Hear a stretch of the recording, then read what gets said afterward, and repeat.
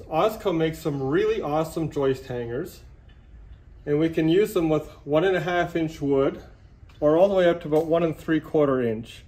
Technically they say two inch. I like to plane it in just a little bit so that this, these little prongs here can hold on a little better. So now you can watch me put them up and see how fast it really goes.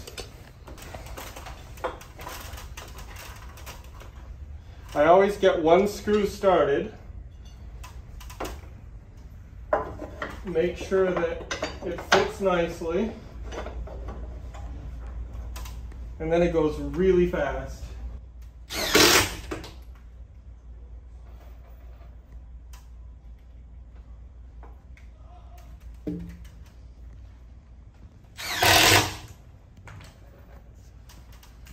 I'll be back on this side just for a minute.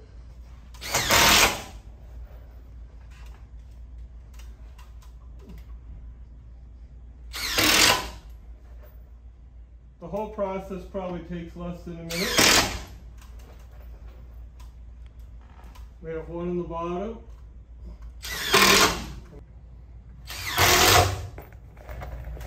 Little one and a quarter inch screws that they provide, little timber screws. And they come in the pack of 10 each. When we're using rough cut lumber, not all the dimensions are exactly the same. So I am just going to chisel where the joist hanger is going to go, just a tiny little bit.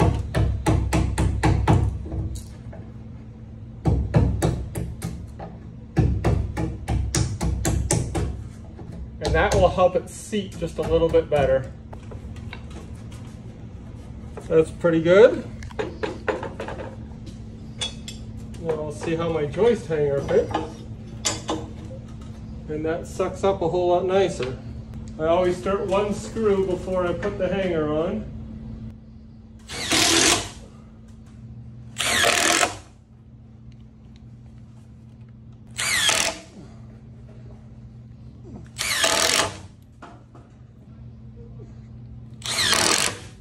Small little hex head screws, timber screws at an inch and a quarter.